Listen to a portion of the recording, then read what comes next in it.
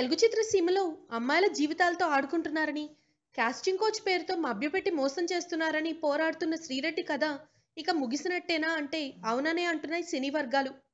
Casting కోచ్కి వ్యతిరేకంగా fight చేస్తున్న తనకే క్రెడిట్ దక్కాలని భావించిన శ్రీరెడ్డి ఈ క్రమంలో ఎవ్వరినీ లెక్క చేయకుండా ముందుకు సాగడమే ఆమె చేసిన పొరపాటైంది.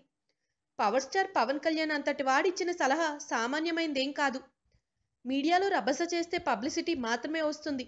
అదే పోలీస్ స్టేషన్కి వెళ్ళి కంప్లైంట్ ఇస్తే న్యాయం జరుగుతుంది. ఇది శ్రీరెడ్డికి పవన్ ఇచ్చిన సలహా. నిజంగా మోసానికి గురైన వాళ్ళు ఎవరైనా న్యాయం కోసం పవన్ చెప్పిన సలహాలనే ఫాలో అవుతారు.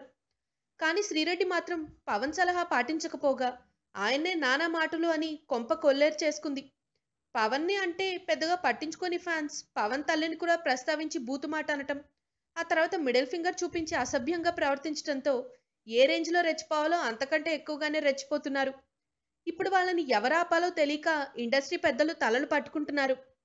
ఇది మరో కత్తి మహేష్ లాంటి వివాదం అవుతుందేమోనని భయపడుతున్నారు.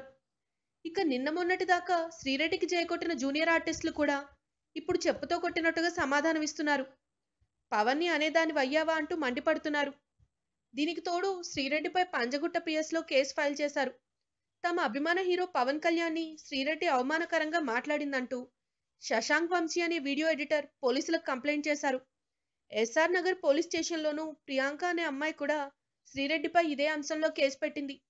ఇప్పటికే తీవ్ర స్థాయిలో విమర్శలు ఎందుకుంటున్న ఆమెకు ఇప్పుడు లీగల్గానూ చిక్కులు మొదలయ్యాయి.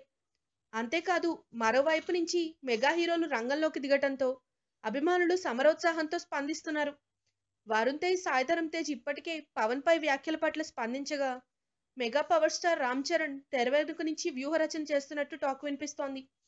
కాస్టింగ్ కోచ్తో మోసపోయిందని మొదట్లో అందరి సానుభూతి సంపాదించుకున్న శ్రీరెడ్డి పోయి పోయి పవన్ కళ్యాణ్ ఫ్యాన్స్తో పెట్టుకోవటంతో ఇక ఆమె పనైపోయినట్టేనని సినీ విశ్లేషకులు భావిస్తున్నారు. పోలీస్ కేసులు ఒకవైపు పవన్ ఫ్యాన్స్ మరోవైపు. వీటన్నిటి నడుమ జీవితం మరో కొత్త కోణాన్ని తెరపైకి తీసుకురావటం కూడా శ్రీరెడ్డికి ఎదురుదెబ్బని చెప్పుకోవచ్చు. తన నివాసంలో ఏర్పాటు చేసిన ప్రెస్ మీట్లో మహిళా సంఘాల నాయకురాలు సంధ్యపై ఘాటైన వ్యాఖ్యలు చేసింది జీవిత. పనిలో పనిగా ఆమె శ్రీరెడ్డి వ్యవహారాన్ని కూడా ప్రస్తావించింది. శ్రీరెడ్డి చెప్తున్నట్టు దగ్గుబాటి అభిరామ్ మోసగాడైతే ఫోటోల్లో పోజులు చూస్తే ఇద్దరు ఇష్టపడినట్టుగానే కనిపిస్తున్నాయని పేర్కొంది. ఇప్పటి వరకు మనం శ్రీరెడ్డి వర్షన్ మాత్రమే విన్నామని అభిరామ్ చెప్పింది కూడా విన్న తర్వాతే ఎవరి తప్పో గుర్తించాలని సూచించింది. జీవిత చేసిన ఈ ప్రపోజల్ అనంతరం మీడియా వైఖరిలో కూడా మార్పు వచ్చినట్టు కనిపిస్తుంది. నిన్నటిదాకా శ్రీరెడ్డితో విపరీతమైన డిబేట్లు నిర్వహించిన ఛానళ్ళు కూడా సైలెంట్ అయ్యాయి.